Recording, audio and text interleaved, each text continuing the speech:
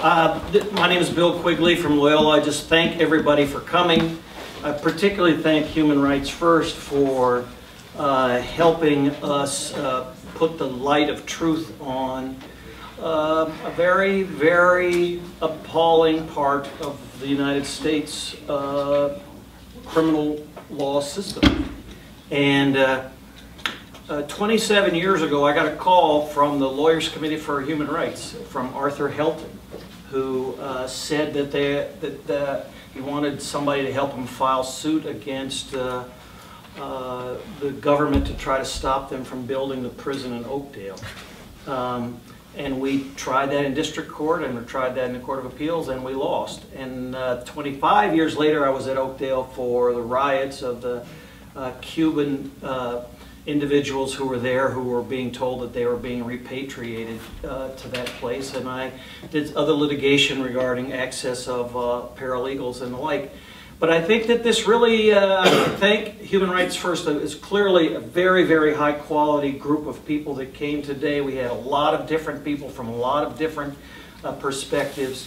Um, and I'm excited that it's being uh, videotaped so that the people who couldn't get here for parts of it have access to that.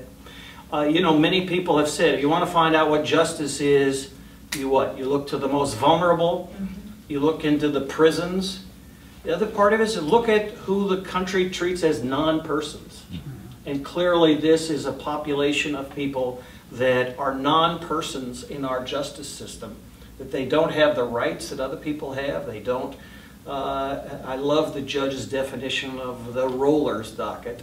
I mean, you know, the, the, the idea that the only part of justice is just to help, help move people out.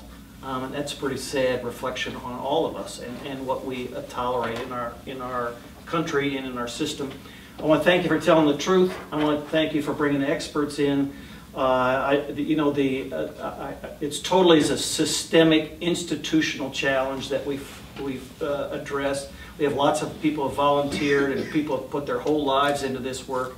Uh, thank you for sharing some of those stories. Those stories are very important to uh, those of us who uh, needed to be brushed up on these uh, injustices. So thank you very much.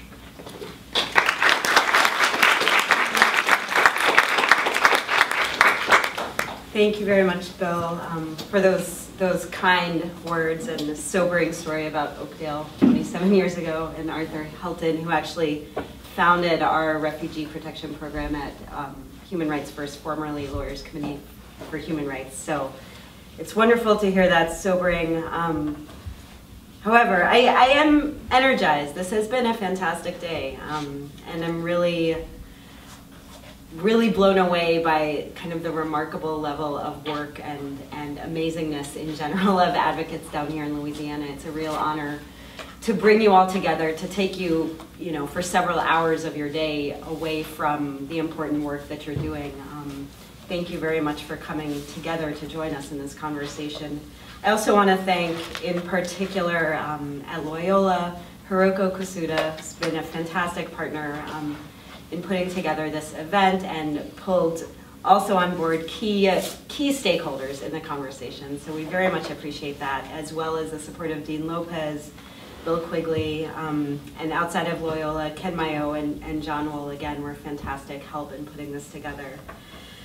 Um, the immigration detention system remains a mess. I think that's pretty clear, despite the steps forward from ICE and DHS over the past three years. They really have committed resources and staff time to try to bring a system that was far, far below par to something closer to a baseline acceptable.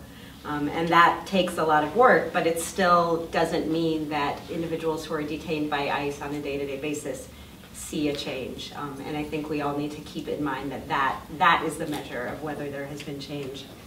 I do think there's cause for hope. Uh, for the most part, we do know what needs to be done. I think that's clear after bringing together fantastic minds for eight hours. Um, the recommendations, the things that need to change are clear. I also think um, there's been reference to potential for immigration reform a number of times through, through the course of the day, and I think, you know, I am pessimistic in certain regards, like Michael Tan, who spoke earlier today. Um, but I think there is potential that we haven't seen for several years in perhaps, perhaps um, moving forward not only immigration reform in terms of legalization of people who are undocumented in this country, but also perhaps folding in some elements of reform that needs to happen to the immigration detention system. Um, and finally, I really do think there's a tremendous opening and opportunity in building alliances between folks in the criminal justice system and folks who are working on the immigration detention reform. You know, we're obviously thinking about, talking about, trying to identify solutions to problems that are common to both systems. And it's important to talk to each other. We don't have to build the wheel twice. Um, we could make one big wheel, or try anyway to, to roll forward. And, and that would also be incredibly helpful for those of us working on immigration detention because for the years and decades of work that have been done by criminal justice reform advocates, I think we're really seeing, um, seeing that momentum come to fruition.